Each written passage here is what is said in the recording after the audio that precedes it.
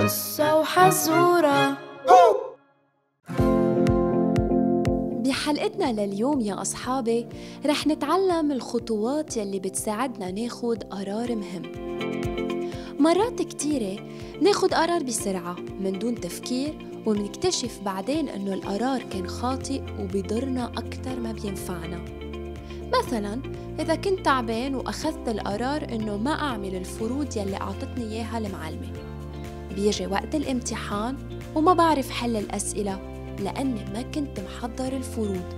فهيك بيكون القرار خطأ ومتسرع.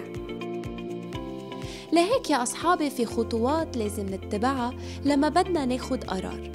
أولاً لازم أعرف شو هدفي من هالقرار.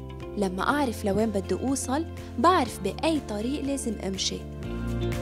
ثانياً لازم فكر بكل القرارات يلي بقدر أخدها لأعرف أي واحد هو الصح والأفضل. ثالثاً لازم فكر بالنتيجة يعني شو معقول يصير إذا أخذت هالقرار؟ والأهم من كل هيدا هو إنه فكر أي قرار بفرح يسوع أكتر.